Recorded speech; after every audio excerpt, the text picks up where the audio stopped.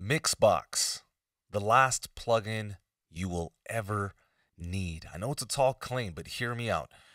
Track number nine, I've got a boatload of plugins instantiated in order to try and get my sound. Let's listen to the drum beat.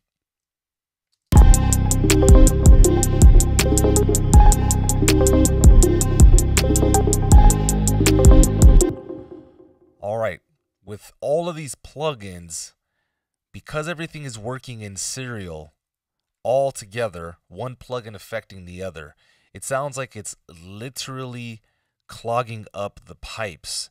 And so when I play this without anything, look at how clean it sounds, how simple it sounds.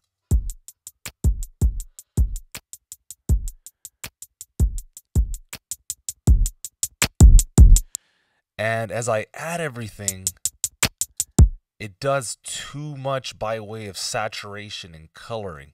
What if there was a solution that could handle all of these different kinds of circumstances and not just give me the ability to access any plugin that I will ever need under one GUI, but also the ability to blend those effects within the channel strip and then on top of that to mix them accordingly.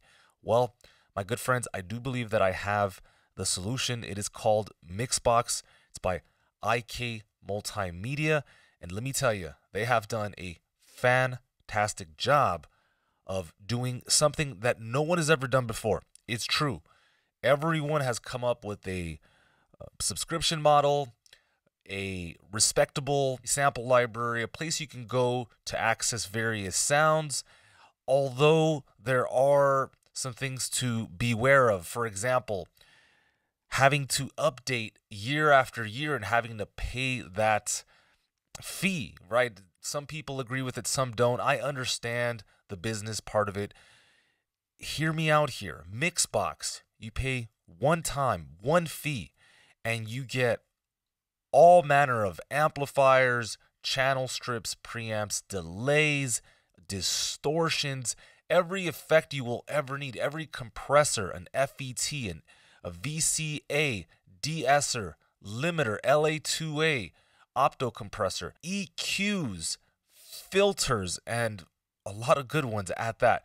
Modulation sources, chorus, flanger, phase, a great unique uh, feature here called slicer, tremolo, every manner of reverb you will ever need, and of course, what would be complete without saturation.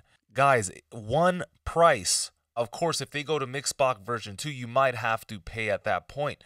But if I could do it all over again, personally, I would just buy Logic and I would just buy a plugin like this. At the time when I first started, about seven years ago, no one had had anything like this.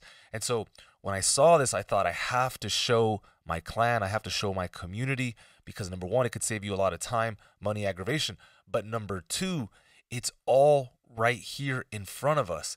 And again, the main perks is that you can blend the effect to taste. So what I did here was I automatically constructed this by way of a preset. Right, this is where I select the presets inside of Mixbox. You can save your own, of course, update these accordingly, right? Initialize this to start over and create your own sets. And so look at how great this sounds. And I'll show you a little bit of the workflow in terms of blending things to taste, okay? So here we go. All right, so I like that tone, but I'm to back off of the screamer here. This is a uh, emulation of the Ibanez Screamer. All right, we're to bring the ratio down from this channel strip. Maybe I'll bring down that, bring up the attack a little bit. Maybe instead of 20 to 1, I'll just go 12 to 1. All right, good. I will take a little bit off in terms of the blend, the dry wet of the 1176, and then I will increase the volume a bit here, maybe reduce it off of the screamer.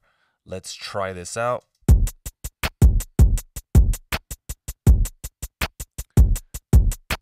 Okay, I like that. So here's before. All right, let's listen to it with the song. Here we go.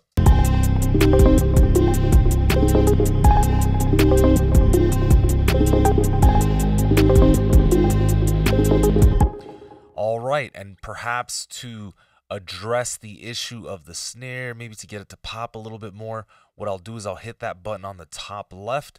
And so then I will try and go into the world of either filtering. Let's see if I can come up with something interesting here. Not that one.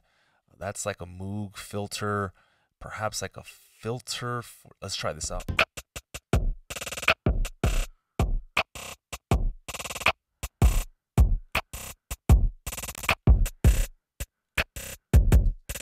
All right, and not only that, but I can use this to blend within the drum kit. So here's before.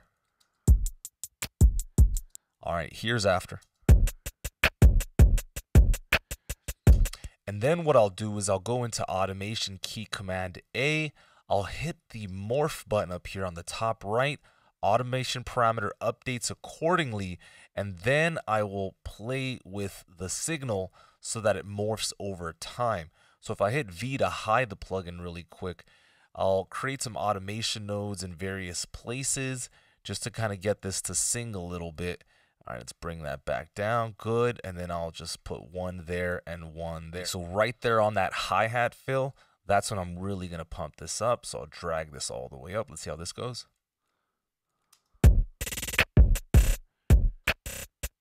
That's nice. Maybe I'll get that resonance to also follow suit.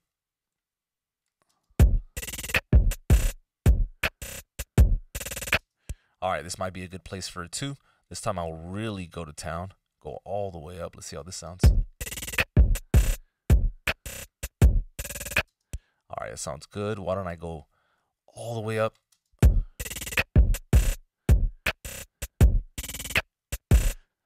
So you see how it's coloring the sound? Right here's before.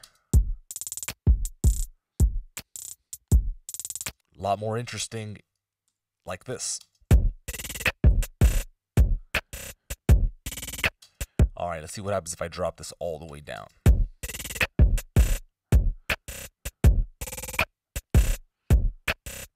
Very, very colorful plugin. Let's play not with drums, but with synths. So I got a synth up here, sounds like this.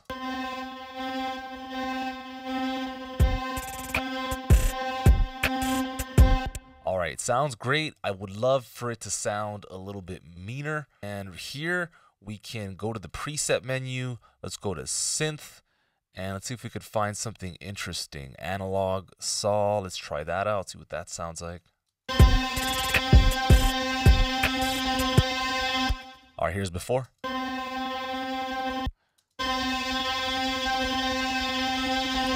Yeah, I would say that sounds meaner. Check it out.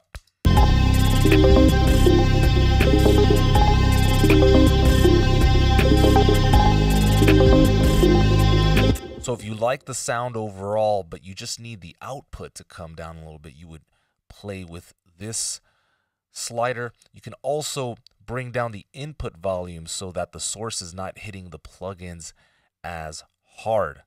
All right, let's listen to this.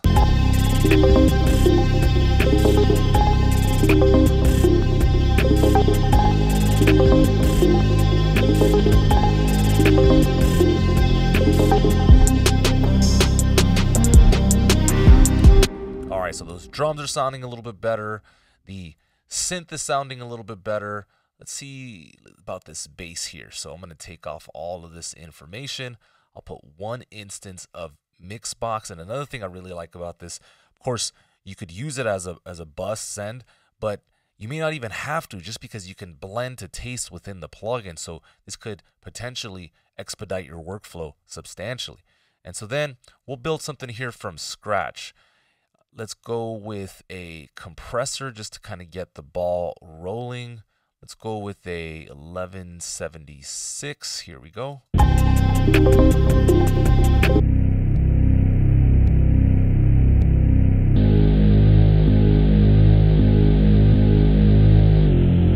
All right, so for any of us that mix consistently, we know that mixing the bass and compressing it is very important as we want the signal to be really even all across the board. So this is before.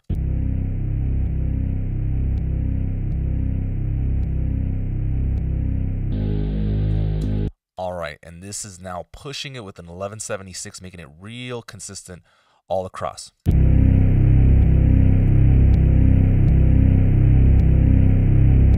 Okay, I like that a lot. Another thing that I'm going to do is saturate after the fact. I'm really falling in love with the Saturator X. I think this thing is such an animal. Let's listen to it.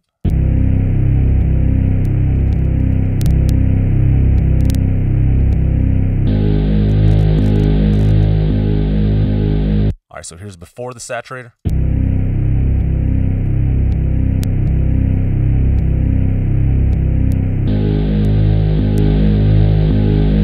Really makes it come alive. Let's listen to this bass section with no Mixbox. Here we go.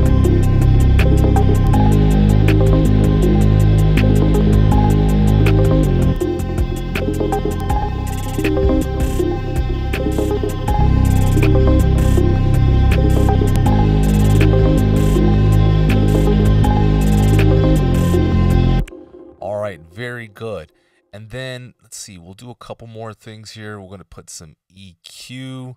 Let's go with the parametric, and then we'll just take a little bit off the bottom here. So let's say 400. Let's see if we can get rid of some of that mud.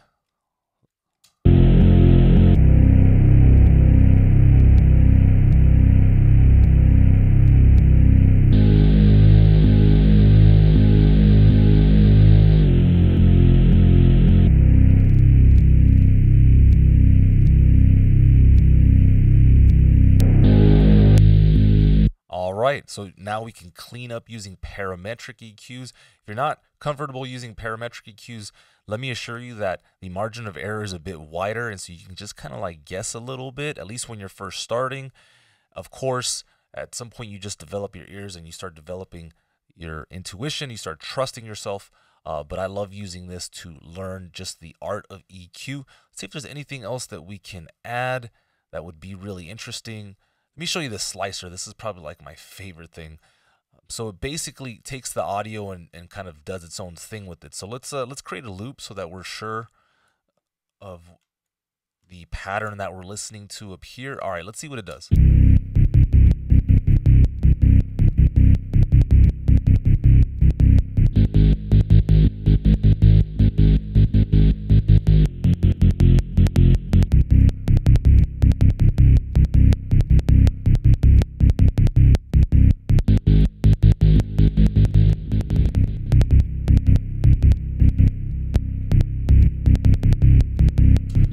Listen to that pattern with my track.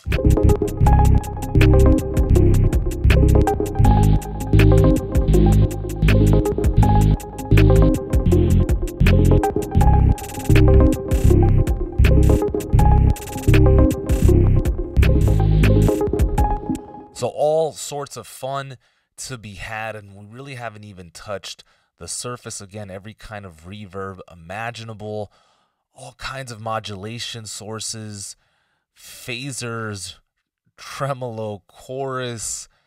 Again, a wah pedal right here, LFO filter. Absolutely incredible offering by IK Multimedia.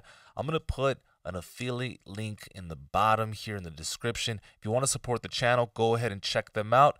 We do get a kickback, so we highly appreciate you taking the time. And look, the aim is always the same to provide you the very best information on YouTube today.